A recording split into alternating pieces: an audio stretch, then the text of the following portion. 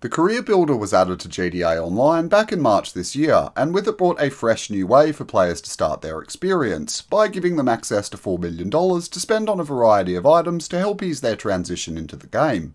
I already covered all of this in my recent beginner's guide, but because that ended up being almost 20 minutes long due to all of the money making methods I exhibited afterwards, I decided to do a cut down version that just shows off the career builder itself.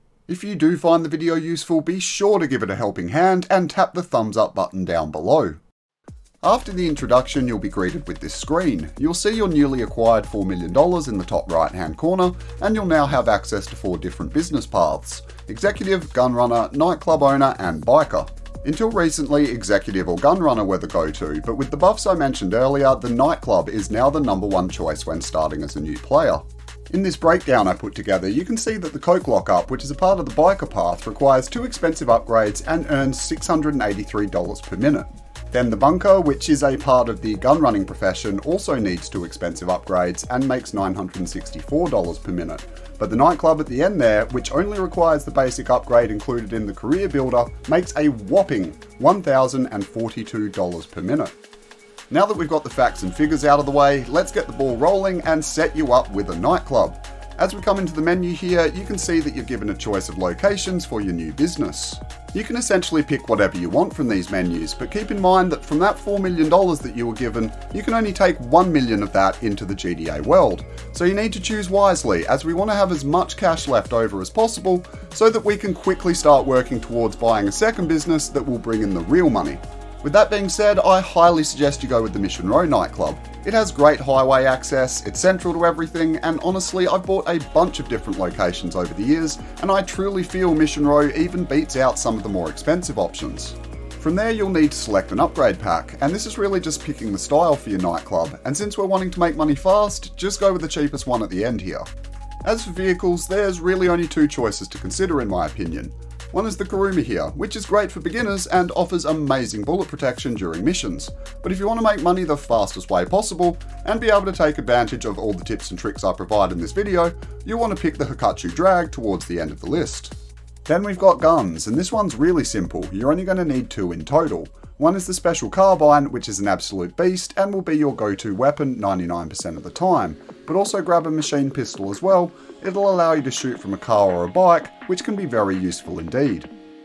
Then we come to the final money screen, and if you've made the same choices as me, you will have exactly $1 million to take out with you into the world, where if you keep following this guide, you'll be able to re-roll into stacks and stacks of cash in no time at all. Once you're done with the aesthetic stuff in the character creator, you'll then get to assign stats. I'd say focus mostly on shooting, stamina and strength as they're the most annoying to raise once you start playing. After that you'll be loaded out into the world, but you're not exposed to other players yet. This is a separate experience for new players at the moment, and what you need to do is make your way out of the police station and simply wait for a text from your mechanic who will deliver your vehicle nearby. Following that, you'll get a text from Lamar who tells you to collect your weapons, so jump on your bike and head over there. You'll see some enemy gang members, but don't worry about them just yet. Simply go over and grab your guns and back up a little bit. Eventually Lamar will tell you to take them out, but you can jump the gun if you want and do it right away. However it goes down though, just make your escape and get away from the hood. From there you'll just need to wait for a text from Tony Prince who will instruct you to get over to your new nightclub. It will place a waypoint on the map, so just follow that until you get there. Once that's all done and dusted, you'll be in the middle of your nightclub and just need to make your way up to the main office, which is upstairs and to the left a little bit. From there, just go over to the computer, sit yourself down, and we can start doing the setups. There are two in total, and they're really easy, so they shouldn't give you any trouble at all. As I mentioned before, you earn money through the popularity of your nightclub.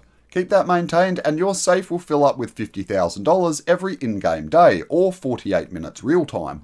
The popularity of your nightclub, which is shown in the bottom right hand corner of the screen, will decrease by 5% every time that 48 minute mark hits. And once that's happened twice, your profits will start to go down.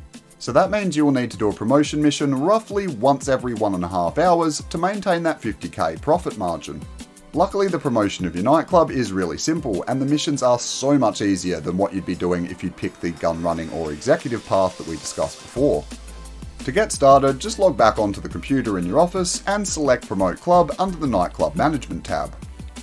There's quite a variety of promotion missions available, ranging in difficulty, but none of them will give you too much trouble.